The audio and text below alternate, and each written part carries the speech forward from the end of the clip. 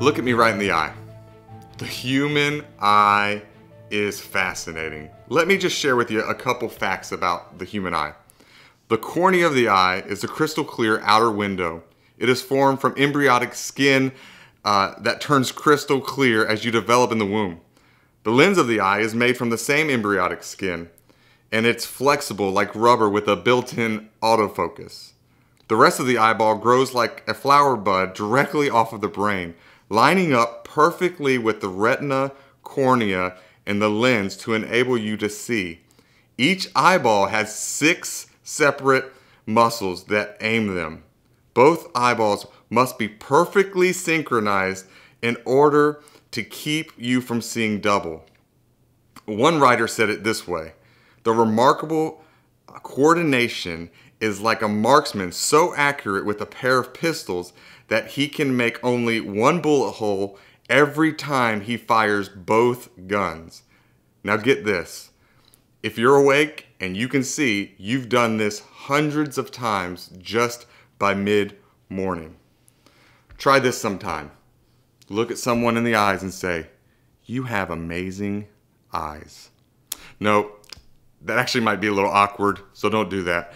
But what we want to talk about, we're not actually talking about human eyes here today. We're not really talking about the debate of creation or evolution. We're going to contrast this with what having the eyes of Jesus, to see people the way that Jesus sees people. How does Jesus see people? To, to answer that question, we're actually going to look at how Jesus saw a very notorious sinner in the Bible, Zacchaeus. We're looking at Luke chapter 19. Then Jesus entered and passed through Jericho, and behold, there was a man named Zacchaeus. He was a chief tax collector, and he was rich.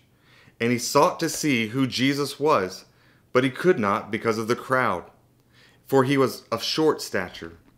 So he ran ahead and climbed in a sycamore tree to see him, for he was going to pass that way. And when Jesus came to the place, he looked up and saw him and said, Zacchaeus, make haste and come down, for today I must stay at your house. So he made haste and came down and received him joyfully. But when they saw it, they all complained, saying, he has gone to be a guest with a man who is a sinner. Then Zacchaeus stood and said to the Lord, Lord, Lord, I give half of my goods to the poor. And if I have taken anything from anyone by false accusation, I restore fourfold. And Jesus said to him, Today salvation has come to this house, because he also is the son of Abraham. For the Son of Man has come to seek and save that which was lost. See, what we see here in this passage is that no one is beyond the help and hope of Jesus Christ.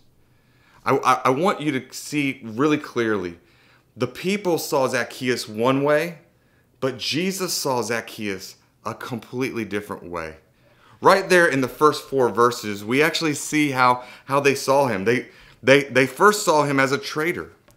You see, he was a, a tax collector. It, it, it, he was a chief tax collector. And what that meant was that he was actually in opposition to the Jews. He would he was uh, basically hired by Rome to take money from his people. He was seen as a as a traitor, someone who had taken sides with, with someone who was trying to do harm to his own people. So he was a he was a tax collector, but but he was also considered a thief. He was actually a government approved thief. And so he was a, a, chief tax collector. And, and then we see kind of a, a, a strange thing here. We saw a couple things that, that were uh, about his morality, but then we see something about his, his physical stature. He was actually short. Now, this isn't a negative or a positive, but this, this probably tells us a little bit about why he maybe couldn't see Jesus in the crowd. He had to run ahead and climb up in a, in a sycamore tree to, to see Jesus. You see, he was morally uh, disregarded by society, but he was also uh, probably put down for, for his height as well. he was not seen in good regard. Most people looked at Zacchaeus and probably looked the other way or actually got angry at just thinking about what Zacchaeus did for a living. But here's the cool thing no one is beyond the help and hope of Jesus. See, Jesus Christ loved Zacchaeus, and Jesus Christ saw him in a completely different way. You see, when, when Jesus saw Zacchaeus, he didn't see a traitor or a thief or his physical stature. He saw a sinner that needed to be saved.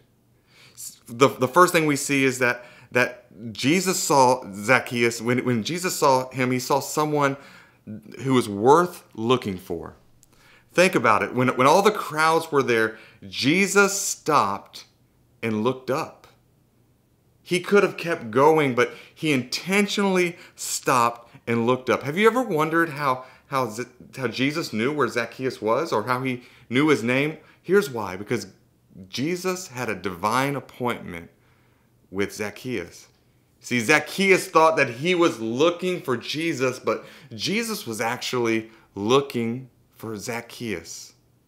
He was worth looking for. Not only was he worth looking for, he was worth taking his time.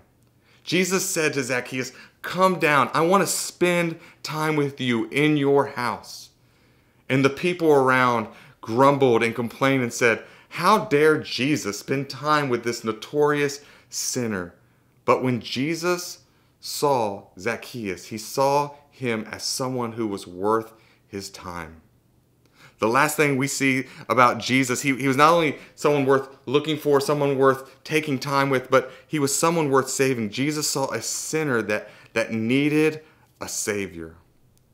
See, there in, in verse 10 it says that, that Jesus came to seek and save that which was lost. Zacchaeus was lost. He was, he was a sinner in need of a Savior, and Jesus knew this we actually see uh, Zacchaeus' encounter with Jesus actually led to a genuine conversion, evidenced by his repentance. He said, "Hey, listen, I will pay back what I owe. I will, what I what I've stolen, I will give fourfold. I will repent." And Jesus said, "Because of your faith, salvation has come to your house." See, when Jesus saw Zacchaeus, he saw someone that needed a Savior. Jesus looked out on the multitudes and he sees them as sheep without a shepherd, someone who needs some, a Savior. And that's what he saw in Zacchaeus. You see, because no one is beyond the help and hope of Jesus. So maybe you're like Zacchaeus. Maybe you've done some things in your past. Maybe they're even secret in this moment, but you're super ashamed. Maybe you've been ridiculed or put aside because of some of those decisions, and you think you're beyond the help and hope of Jesus. You could not be further from the truth. You see, when Jesus sees you, he sees someone worth looking for, someone worth his time, but, but most importantly, someone worth saving.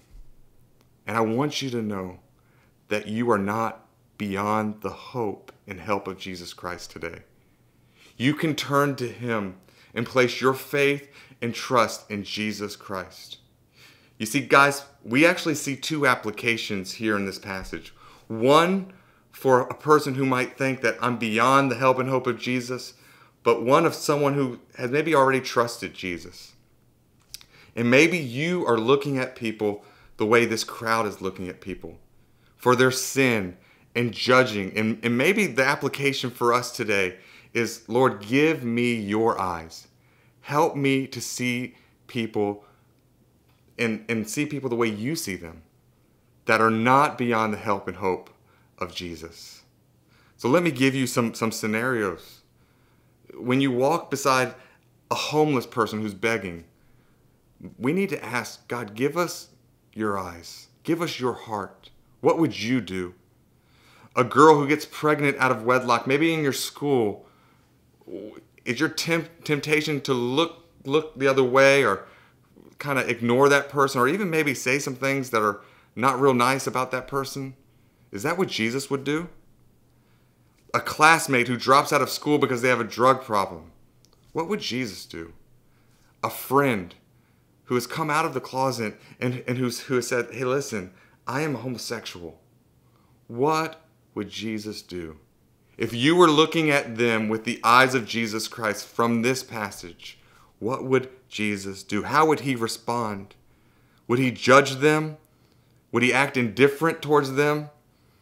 No, I don't, I don't think so. I think he would see them as someone whose greatest need was a relationship with him. He would engage them, he would talk to them. Yes, he would lovingly call them to repentance, but he wouldn't show indifference. So maybe the application for us today is to say, God, give us your eyes. Help us to see people the way you see people. May that be our prayer for this week as we go out and serve Jesus Christ. Thanks for joining. See you next week.